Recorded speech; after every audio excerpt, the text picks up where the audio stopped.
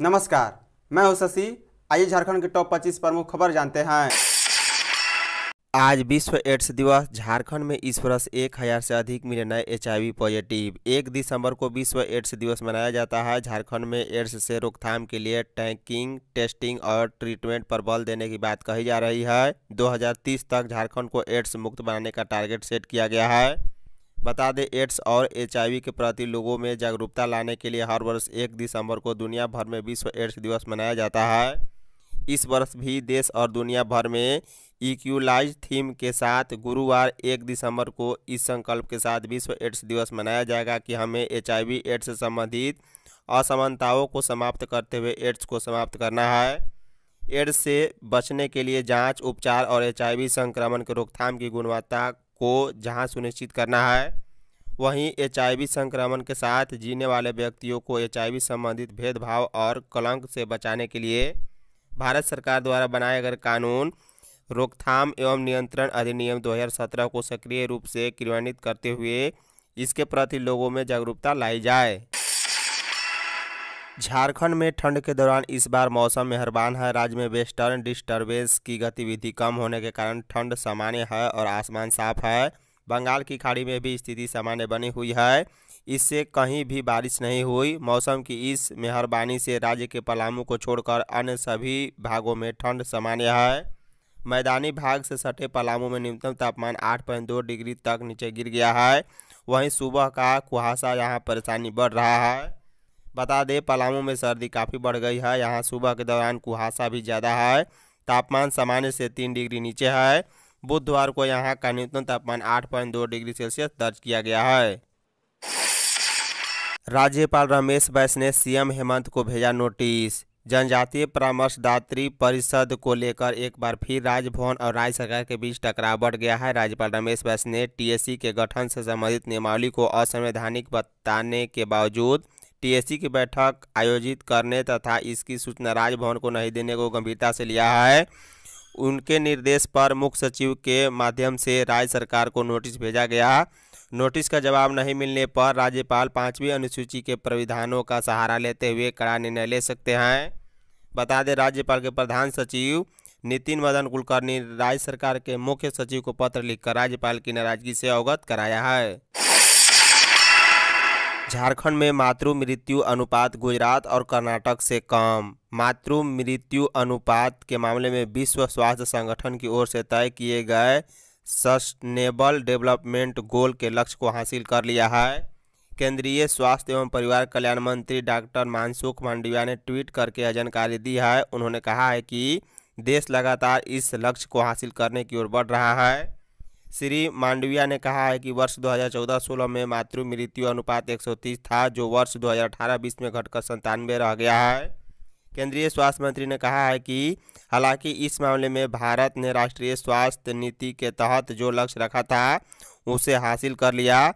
इस दौरान आठ राज्यों ने बेहतरीन प्रदर्शन किया है और उन्होंने सतत विकास लक्ष्य को भी हासिल कर लिया है।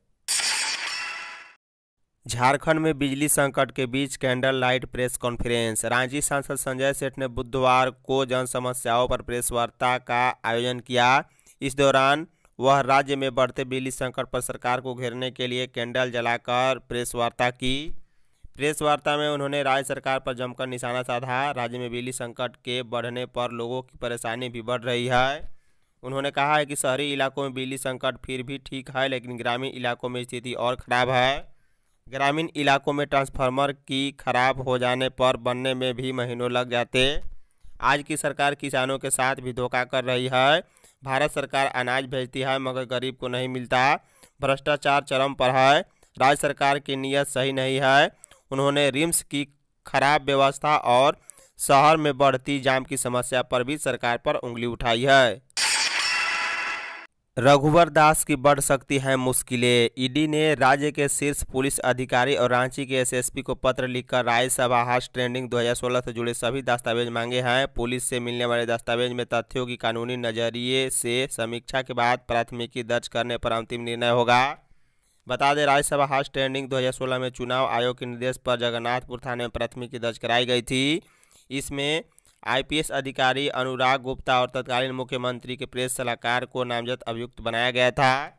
बाद में इस मामले में तत्कालीन मुख्यमंत्री रघुवर दास को अप्राथमिकी अभियुक्त बनाया गया। साथ ही इसमें भ्रष्टाचार निवारण अधिनियम की धाराएँ जोड़ी गई। पीसी एक्ट की धाराएँ जोड़े जाने के बाद इस मामले की जाँच डीएसपी को सौंप दिया गया।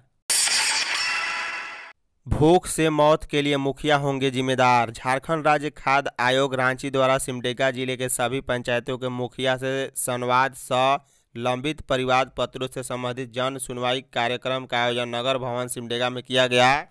कार्यक्रम में झारखंड राज्य खाद्य आयोग के अध्यक्ष हिमांशु शेखर चौधरी एवं सदस्य शबनम परवीन मुख्य रूप से उपस्थित थे। इस अवसर पर राज्य खाद्य आयोग के अध्यक्ष हिमांशु शेखर चौधरी सदस्य शबनम, परवीन और आयोग के अन्य सदस्यों ने विभिन्न पंचायतों से आए हुए मुखिया से बातचीत की। इस दौरान उन्होंने राज्य खाद्य आयोग के उद्देश्य के बारे में जानकारी दी। कार्यक्रम में खाद्य सुरक्षा अधिनियम से जुड़ी जन वितरण योजना, मध्याह्न भोजन योजना, आंगनबाड़ी केंद्र, मातृ वंदना योजना से संबंधित जानकारी संबंधित पदाधिकारी द्वारा दी गई। वहीं खाद्य सुरक्षा अधिनियम के तहत जिला आपूर्ति पदाधिकारी पूनम कक्षप ने बताया कि जन शिकायत के अंतर्गत एक आठ डबल ज़ीरो दो एक दो पाँच पाँच एक दो एवं जिला के द्वारा जारी व्हाट्सएप नंबर नौ तीन तीन चार दो पाँच आठ आठ पाँच पाँच के माध्यम से भी शिकायत की जा सकती है। झारखंड सरकार ने माना बंद पड़ी खदानें पर्यावरण के लिए बन रही खतरा। झारखंड के लोगों के लिए बंद पड़ी कोयला खदानें कितनी खतरनाक है और इनका क्लोजर कितना ज़रूरी है? इस बात को झारखंड सरकार भी अब पूरी तरह समझ गई है और झारखंड के वित्त मंत्री डॉक्टर रामेश्वर उरांव ने इस मामले को लेकर अपनी चिंता केंद्र सरकार के सामने उजागर कर दी है। वित्त मंत्री रामेश्वर उरांव ने दिल्ली में आयोजित प्री बजट मीटिंग में केंद्र सरकार के सामने अपनी यह चिंता जताई। साथ ही उन्होंने केंद्र सरकार को यह जानकारी दी है कि किस तरह कोल कंपनियों द्वारा बंद खदानों का माइंस क्लोजर नहीं करने की वजह से राज्य के लोगों के स्वास्थ्य पर बुरा असर पड़ रहा है। झारखंड में 20 प्रतिशत महँगी हो सकती है बिजली। राज्य में बिजली की दरों में 20 प्रतिशत तक बढ़ोतरी हो सकती है। बिजली वितरण निगम ने आगामी वित्तीय वर्ष 2023-24 के लिए राज्य विद्युत नियामक आयोग में वार्षिक राजस्व रिपोर्ट दाखिल की है, जिसके आधार पर टैरिफ प्रस्ताव को मंजूर मिलेगी। वार्षिक राजस्व रिपोर्ट में बिजली वितरण निगम ने चौहत्तर करोड़ का घाटा दिखाया है। इसमें वित्तीय वर्ष 2020-21 में 2200 करोड़ वित्तीय वर्ष 21-22 में 2600 करोड़ तथा वित्तीय वर्ष 22-23 में 2500 करोड़ का घाटा दिखाया गया। आगामी वित्तीय वर्ष 2023-24 के लिए दाखिल टैरिफ पिटीशन में बिजली वितरण निगम ने 20 प्रतिशत तक दर में बढ़ोतरी का प्रस्ताव दिया है। इससे बिजली उपभोक्ताओं को झटका लग सकता है। झारखंड के पुलिस अफसरों के साथ केंद्रीय गृह सचिव की बैठक। नशे के खिलाफ पूरे देश में ठोस योजना बनेगी। मादक पदार्थों की तस्करी रुके, इसके तस्कर सलाखों तक पहुँचे। पुलिस की कारगर कार्रवाई हो, इससे संबंधित कांडों का त्वरित निष्पादन हो और सभी राज्य आपसी समन्वय से इसके विरुद्ध कार्रवाई करें। सहित इससे जुड़े विभिन्न मुद्दों पर आज केंद्रीय गृह सचिव वीडियो कॉन्फ्रेंसिंग के माध्यम से सभी राज्यों के साथ बैठक करेंगे। झारखंड के अफसरों के नाम बाबूलाल का खुला पत्र। पूर्व मुख्यमंत्री बाबूलाल मरांडी ने झारखंड के अफसरों को सुझाव देते हुए खुला पत्र जारी किया है। उनके मुताबिक दबाव में गलत काम अधिकारियों को नहीं करना चाहिए। इसका परिणाम बुरा होता है। उन्होंने अपने मुख्यमंत्रित्व काल का एक अनुभव शेयर करते हुए कहा है कि तब उग्रवादियों का उत्पाद चरम पर था। योजना ज़्यादा से ज़्यादा उग्रवादियों उनके सहयोगियों को मुख्य धारा में वापस लाने की थी। आदिवासी बहुल एक ज़िले में कुछ उग्रवादियों को संसाधन देने वालों के पीछे पुलिस हाथ धोकर पड़ी हुई थी। वहाँ के एक सीनियर पदाधिकारी को बुलाकर कहा कि उन्हें मुख्य धारा में लाना चाहता हूँ। थोड़ा रहम करिए, उन पर वे अधिकारी रो पड़े और कहा कि, सर, ये लोग भारी बदमाश हैं। अमित अग्रवाल के आरोपों की सीबीआई जाँच होगी। झारखंड हाईकोर्ट के जस्टिस एस के द्विवेदी की अदालत ने अधिवक्ता राजीव कुमार रिश्वत कांड की जाँच सीबीआई को सौंप दी है। अदालत ने कहा है कि सीबीआई पंद्रह दिनों में मामले की जाँच कर रिपोर्ट कोर्ट में पेश करे। अदालत ने कहा है कि सीबीआई इस बात का पता लगाए कि आखिर कोलकाता के व्यवसायी अमित अग्रवाल ने झारखंड हाईकोर्ट के अधिवक्ता राजीव कुमार के खिलाफ दर्ज प्राथमिकी में उनके न्यायिक पदाधिकारी, जाँच एजेंसियों और राज्य के वरीय अधिकारियों के साथ संबंध होने की बात में कितनी सच्चाई है। पुलिसकर्मी के बेटे निकले साइबर ठगी के मास्टरमाइंड। साइबर थाने की पुलिस टीम ने साइबर ठगी के मामले में तीन युवकों को जसीडीह से गिरफ़्तार किया है। पकड़े गए आरोपितों में सेलू कुमार पाठक और अभय कुमार पाठक सगे भाई हैं। ये मूल रूप से जसीडीह के बदिया गाँव का रहने वाले हैं। मिली जानकारी के मुताबिक इन दोनों के पिता पुलिसकर्मी हैं। वे झारखंड पुलिस में ही कार्यरत हैं। पुलिस मामले से जुड़ी सभी बिंदुओं की जाँच कर रही है। रोज़गार की मांग को लेकर बीसीसीएल प्रबंधन के खिलाफ धरना। बीसीसीएल से रोज़गार की मांग लगाए दर्जनों अप्रेंटिस प्रशिक्षुओं के सब्र का बंध बुधवार को टूट गया। इस दौरान बीसीसीएल प्रबंधन मुर्दाबाद समेत अन्य नारे लगाते हुए बीसीसीएल अप्रेंटिस दर्जनों की संख्या में रणधीर वर्मा चौक पहुँचे और प्रबंधन के खिलाफ जोरदार प्रदर्शन किया। अप्रेंटिसशिप कर चुके मजदूरों का कहना है कि पूर्व में सांसद की उपस्थिति में हुए समझौते को चार महीने से अधिक हो जाने के बाद भी प्रबंधन पूरा नहीं कर रहा है। युवाओं का कहना है कि कंपनी के अधीन सैकड़ों अप्रेंटिसशिप कंपनियाँ काम कर रही है, लेकिन अप्रेंटिसशिप कर चुके युवाओं को रोज़गार नहीं मिल रहा है। पुरानी पेंशन के लिए सांसद घेरने की तैयारी में एआईआरएफ। पुरानी पेंशन कोई दान नहीं, बल्कि रेल कर्मचारियों के लिए सामाजिक सुरक्षा है। इसे वापस लेने के लिए किसी भी हद तक जाने को तैयार हैं। नई पेंशन योजना के विरोध में केंद्रीय कर्मचारी, राज्य कर्मचारी और शिक्षकों को साथ लेने की कोशिश कर रहे हैं। केंद्रीय नेतृत्व में बड़े आंदोलन की तैयारी चल रही है। देश भर के सभी सरकारी कर्मचारी, राज्य कर्मचारी और केंद्रीय कर्मचारी एकजुट होकर हिस्सा लेंगे। प्रथम चरण में राज्य स्तर पर नए पेंशन के विरोध आंदोलन की शुरुआत कर देश भर से पाँच लाख से अधिक सरकारी कर्मचारियों को दिल्ली बुलाया जाएगा। वहीं दूसरे चरण में संसद का घेराव करेंगे।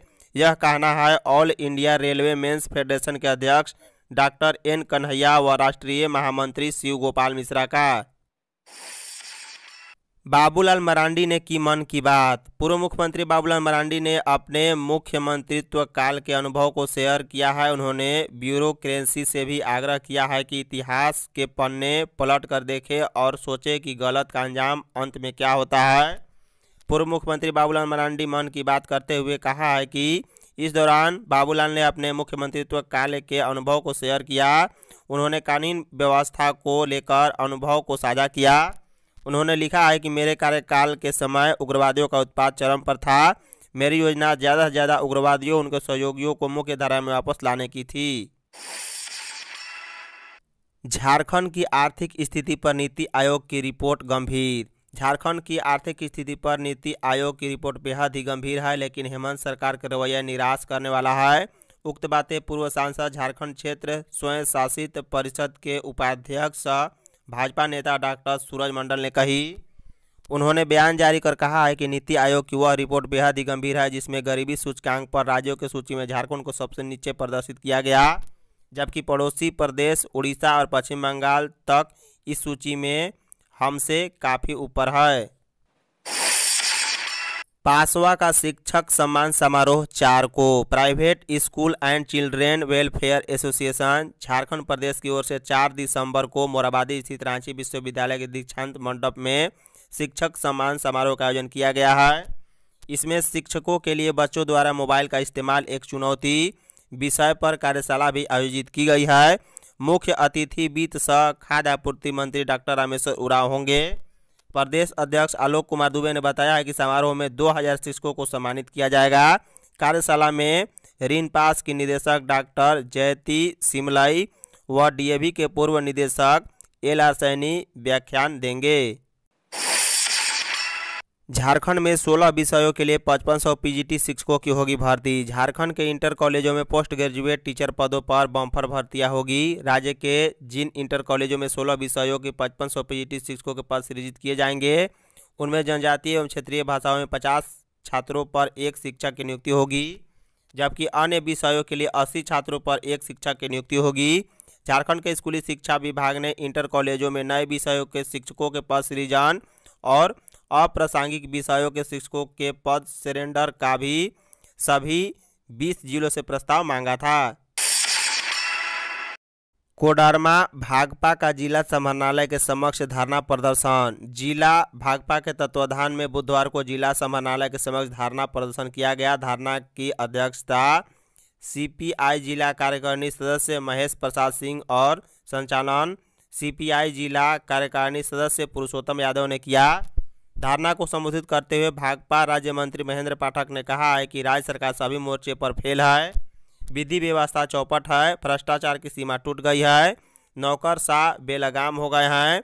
पूरे झारखंड के अंचल अधिकारी दाखिल खारिज में करोड़ों की उगाही करते हैं और अपने आला अधिकारियों को पहुंचाते हैं। झारखंड में 608 बालू घाट में सिर्फ़ 17 का टेंडर। झारखंड में प्रति माह 80 से 100 करोड़ रुपए का बालू का अवैध कारोबार हो रहा है। वजह है कि राज्य के 608 बालू घाटों में से केवल 17 बालू घाटों का ही टेंडर होना शेष जगहों पर अवैध रूप से बालू का उठाव किया जा रहा है और बाजारों में बेचा जा रहा है। राज्य में पिछले चार साल से बालू घाटों की बंदोबस्ती नहीं हो सकी है। ऐसे में सवाल उठता है कि आखिर बालू कहाँ से आ रहा है? बालू कारोबारों का कहना है कि रात के अंधेरे में बालू घाटों से बालू की निकासी होती है और फिर स्थानीय ग्रामीण से लेकर रंगदार राजनीतिक दल, थाना से लेकर जिला के शीर्ष पदाधिकारियों तक वसूली होती है। तब एक ट्रक बालू किसी को मिलता है। एक बालू कारोबार का कहना है कि राज्य में संगठित रूप से बालू का अवैध कारोबार हो रहा है। भाकपा माओवादी का एरिया कमांडर कमलेश यादव ने किया आत्मसमर्पण। भाकपा माओवादी का एरिया कमांडर कमलेश यादव ने बुधवार को आत्मसमर्पण कर दिया है। प्रतापपुर थाना क्षेत्र के चरका गाँव निवासी शंकर यादव का पुत्र कमलेश यादव चतरा के अलावा लातेहार एवं पलामू जिला में आतंक मचा रखा था। उसके खिलाफ विभिन्न थाने में हत्या, मुठभेड़ एवं अपहरण जैसे कम से कम आठ मामले दर्ज हैं, जिसमें तीन तीन मामले प्रतापपुर व मनातू थाने में तथा दो मामले कुंदा थाना में दर्ज है। राज्य सरकार की आत्मसमर्पण एवं पूर्णवास नीति से प्रभावित होकर कमलेश ने सरेंडर किया है। पंकज मिश्रा को झारखंड सरकार का संरक्षण। मुख्यमंत्री हेमंत सोरेन के विधायक प्रतिनिधि पंकज मिश्रा को राज्य सरकार का संरक्षण प्राप्त है। वह पावर इंजॉय कर रहा है। न्यायिक हिरासत में रहते हुए रिम्स में इलाज के दौरान उसने करीब 300 फ़ोन कॉल किए। उसका राजनीतिक रसूख ऐसा रहा कि साहिबगंज थाने में उस पर दर्ज प्राथमिकी की जाँच में उसे निर्दोष बताया गया। पंकज मिश्रा की जमानत याचिका का विरोध करते हुए ईडी की ओर से कोर्ट में यह दलील दी गई। जमानत याचिका का विरोध करते हुए ईडी की ओर से कहा गया है कि अभियुक्त पंकज मिश्रा न्यायिक हिरासत में रहने के दौरान भी लगातार वरीय पुलिस और राज्य के अधिकारियों से बात करता रहा। साहेबगंज में बढ़ रहे एड्स पीड़ित। झारखंड के साहेबगंज ज़िले में एड्स पीड़ितों की संख्या आठ सौ बहत्तर के करीब पहुँच गई है। एड्स रोगियों की संख्या साहेबगंज ज़िले में लगातार बढ़ती ही जा रही है। वर्ष 2008 में पहली बार 25 मरीज़ मिले थे। 15 वर्षों में यह आंकड़ा आठ सौ बहत्तर तक पहुँच गया है। एच संक्रमित लोगों की संख्या में हुई वृद्धि के बाद जिला स्वास्थ्य विभाग के द्वारा साहेबगंज सदर अस्पताल में अप्रैल 2020 में एआरटी सेंटर खोला गया।